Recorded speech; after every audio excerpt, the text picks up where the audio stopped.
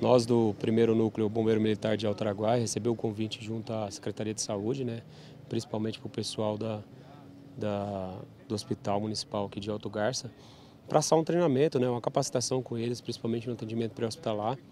A gente vê a necessidade aí, pois ele é o nosso braço direito, acaba sendo o nosso braço direito aqui, porque nós estamos na, em Altaraguaia, né, e às vezes cai alguma ocorrência do tipo de rodovia, alguns tipos, sempre a, o hospital está de prontidão para atender. Então, junto a essa parceria, a gente está aqui para mostrar para eles e tentar passar um pouco da nossa experiência aí, principalmente no atendimento pré-hospitalar. Esse é o maior objetivo.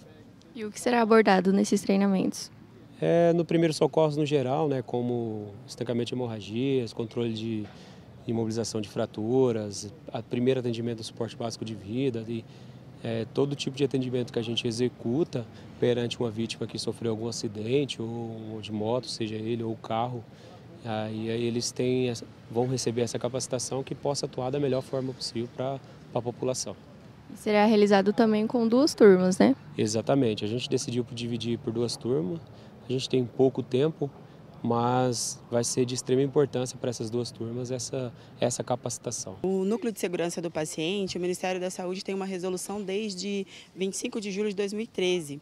O Ministério da Saúde vem implantando isso nos municípios que institui uma segurança melhor para o paciente, um atendimento melhor, garante a segurança do paciente. Em parceria, a Secretaria de Saúde, a gente já implantou no município desde de, do julho de ano, do ano passado, a, a Cláudia Gasparello já havia é, implantado o município, mas a gente ainda estava na questão de papelada, de instituição.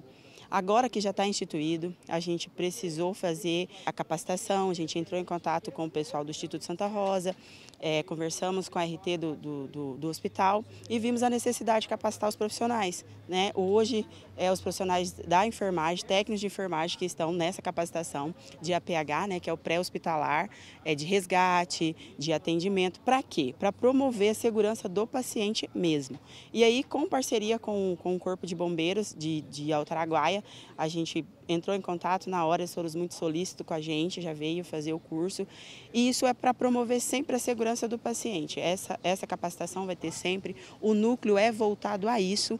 Tá? O núcleo é voltado é, especialmente à segurança do paciente, desde o atendimento, desde N engloba N atendimentos, não somente esse que é o curso que está sendo oferecido hoje com a APH, mas em atendimento, é, atenção primária também está aqui, as nossas ACS também estão aqui fazendo essa capacitação, porque elas estão na rua. Então, às vezes, o primeiro momento, elas vão ter esse contato com o paciente, precisa estar capacitadas para se alguma coisa ocorrer, elas estão ali e ter um preparo bacana, né? O preparo certo para essa para esse atendimento. Então o núcleo envolve isso, segurança do paciente, está voltado a esse intuito.